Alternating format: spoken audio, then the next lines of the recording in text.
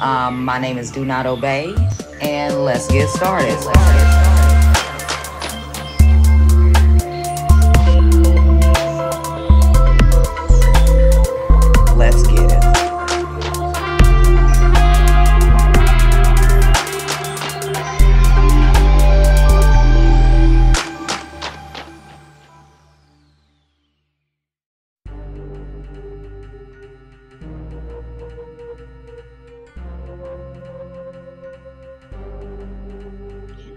They say if you hear three knocks and no one is there, it usually means someone close to you has died.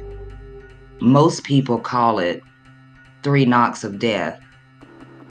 Now, here is a possible story.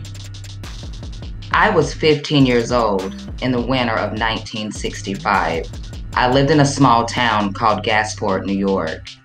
One snowy evening, we were all gathered in the living room watching TV. Then, all of a sudden, we heard a very loud pounding on the front entry door. That door was sealed with weather stripping in the winter, and we never opened it after it was in place.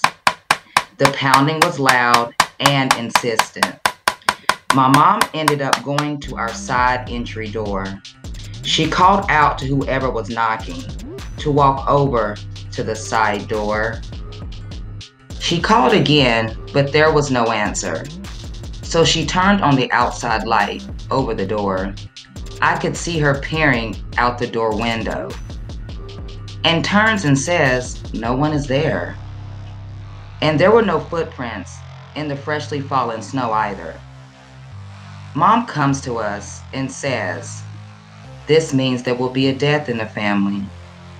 My dad, being a skeptic, suggested the noise was just the wind blowing something against the door.